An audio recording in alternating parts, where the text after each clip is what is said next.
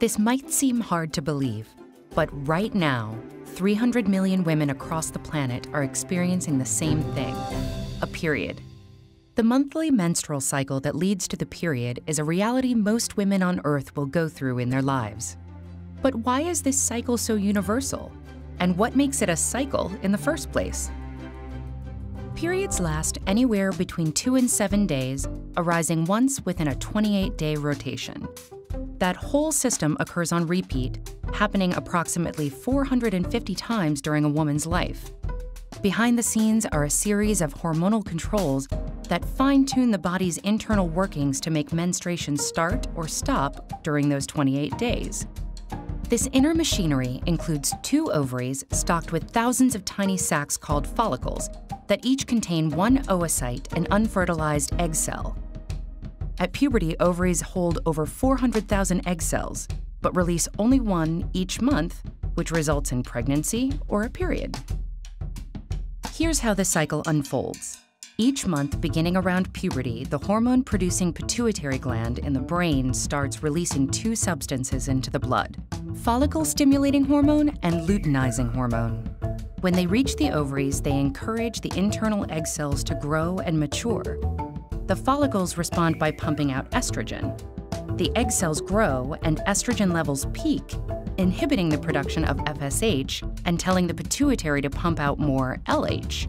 That causes only the most mature egg cell from one of the ovaries to burst out of the follicle and through the ovary wall. This is called ovulation, and it usually happens 10 to 16 days before the start of a period.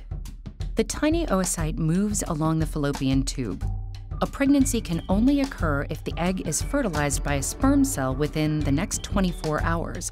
Otherwise, the egg's escapade ends and the window for pregnancy closes for that month. Meanwhile, the now empty follicle begins to release progesterone, another hormone that tells the womb's lining to plump up with blood and nutrients in preparation for a fertilized egg that may embed there and grow. If it doesn't embed, a few days later the body's progesterone and estrogen levels plummet, meaning the womb stops padding out and starts to degenerate, eventually falling away. Blood and tissue leave the body, forming the period. The womb can take up to a week to clear out its unused contents, after which the cycle begins anew. Soon afterwards, the ovaries begin to secrete estrogen again and the womb lining thickens, getting ready to accommodate a fertilized egg or be shed.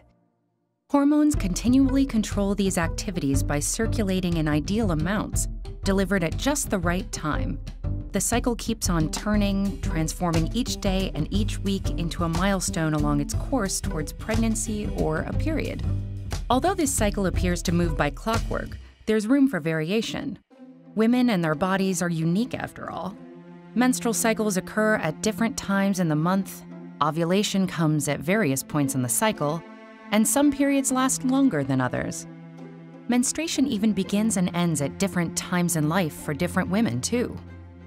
In other words, variations between periods are normal. Appreciating these differences and learning about this monthly process can empower women, giving them the tools to understand and take charge of their own bodies. That way, they're able to factor this small cycle into a much larger cycle of life.